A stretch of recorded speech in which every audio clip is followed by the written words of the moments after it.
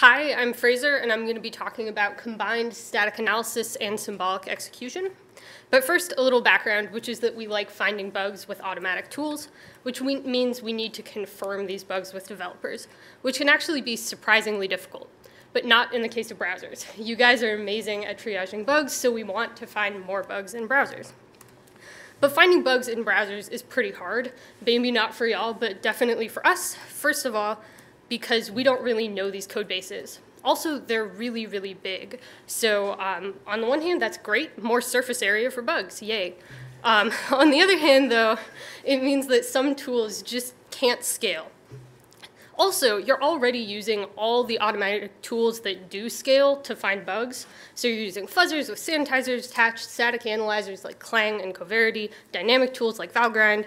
One statistic I think is just insane is that Chrome has 25,000 25,000 machines fuzzing with sanitizers attached every day.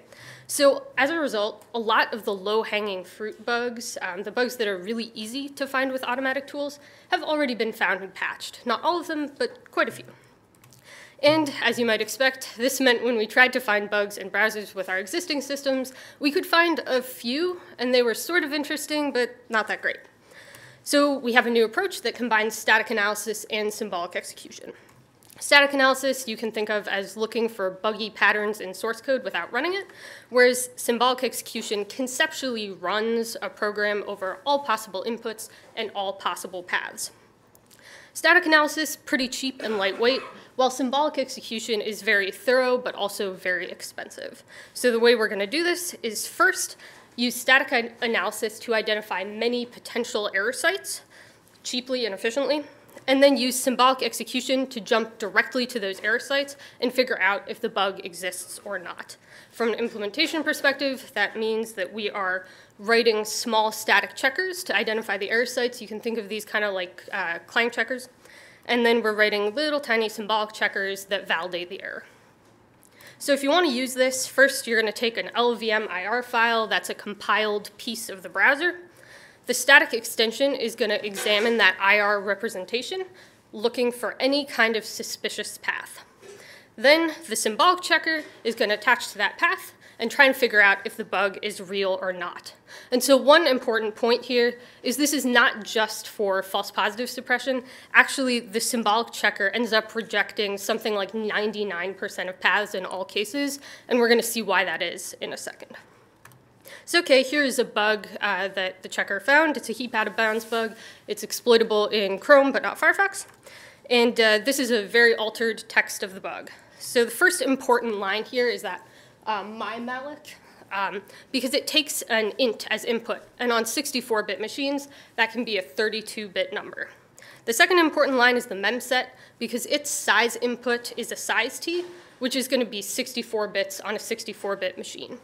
So you can imagine crafting a stride that wraps the 32-bit multiplication but does not wrap the 64-bit multiplication in the memset.